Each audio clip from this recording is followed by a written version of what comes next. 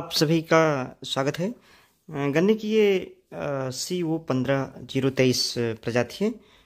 हमारे कृषक शमसुल हक जी जो परसपुर महड़ौर के रहने वाले हैं जनपद गोंडा के, इनके द्वारा इसको लगाया गया है। जो दूरी है, आप देख सकते हैं, साढ़े चार फिट की, एक सौ पैंतीस फिट की सी ओ पंद्रह ज़ीरो तेईस।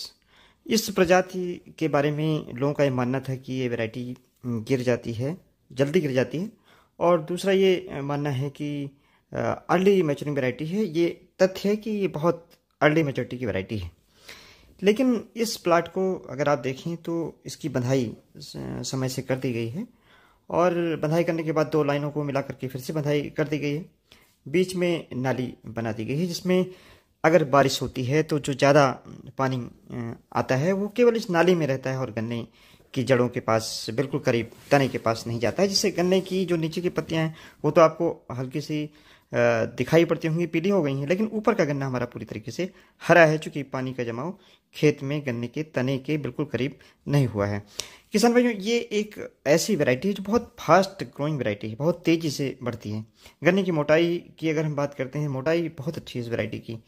इस वैरायटी में जो कुछ तथ्य हैं, ध्यान देने योग्य हैं कि बहुत सारे किसान भाई कहते हैं नहीं इसको अप्रैल में ही लगाना चाहिए। नहीं, आप इसको थ्रू आउट द एयर लगा सकते हैं। बहुत अर्ली ना लगाएँ, यानी अगस्त के महीने में ना लगा दें लेकिन सितंबर लास्ट से लेकर के और पूरा अक्टूबर शरद काल में लगा सकते हैं और बाद में फरवरी से लेकर के और अप्रैल तक लगा सकते हैं। लेट लगाते हैं कुछ वैज्ञानिकों का ये सुझाव आया कि इसको केवल लेट लगाएँ तभी अच्छा हो सकता है, नहीं तो ये गन्ना गिर जाता है। लेकिन ऐसा नहीं, मेरे पास हज़ारों की संख्या में प्लाट हैं, जो बहुत अच्छे हैं, अक्टूबर के महीने के महीने के, फरवरी के महीने के। किसान भाइयों, इस वैरायटी में आपको ध्यान देने की जो बात है, एक तो आप पत्ती ना उतारें, दूसरी जो खास बात है, इसकी, इसको गहराई में बुआई करें, गहराई में बुआई करने के लिए गहरी जुताई करें, कितनी गहरी करें, तीस से पैंतीस सेंटीमीटर करें, किस यंत्र से करें चिजलर से करें या एम बी प्लाउ से करें। गन्ने की दूरी रखें साढ़े चार फिट बहुत ज़्यादा ना रखें साढ़े चार फिट की दूरी रखें। कहाँ से? सेंटर से सेंटर की। बहुत सारे किसान भाई पूछने लगते हैं, क्या किनारे से रखना है? नहीं सेंटर सेंटर रखना है। अगर हो सके तो आप दो बट का गन्ना बोएँ। सिंगल बट का ना बो करके दो बट का बोएँ। बुआई की गहराई तीस सेंटीमीटर रखें।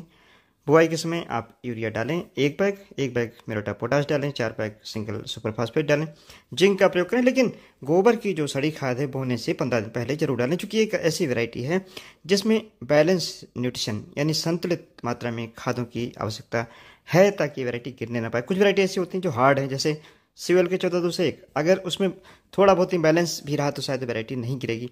इतनी सॉफ्ट नहीं है, लेकिन ये वैरायटी सॉफ्ट है। और आपको एक चीज़ और बता दें, जो वैरायटी सॉफ्ट हैं, वो बढ़ती हुई तेज़ी से हैं। इंटरनोड अगर लंबी है तो वैरायटी बढ़ेगी। अगर वैरायटी का आप देखें, जैसा इसका अगोला बहुत अच्छा है, अगर अगोला अच्छा होगा, तब गन्ना अपना भोजन बना पाएगा, गन्ने की लंबाई बढ़ेगी, मोटाई बढ़ेगी और नंबर ऑफ़ टिलर्स भी बढ़ेंगी, पेड़ भी अच्छी होगी, गन्ना हमेशा तरोताज़ा रहेगा। लेकिन अगर किसान भाइयों, आपने खाद बहुत ज़्यादा यूरिया की डाली, तब ये गन्ना अच्छा नहीं है, उस दशा में आपको सोचना पड़ेगा डिट्रेशन होता है। लेकिन अगर इन थोड़ी छोटी छोटी छोटी बातें जो हम लगातार आपको बता रहे हैं, इनको अगर ध्यान रखें तो ये आपके लिए बहुत अच्छी वैरायटी एक वरदान की तरीके से साबित हो सकती है, जबकि दो सौ अड़तीस में रेड डॉट लगा हुआ है, उस वैरायटी को आपको रिप्लेस करना है।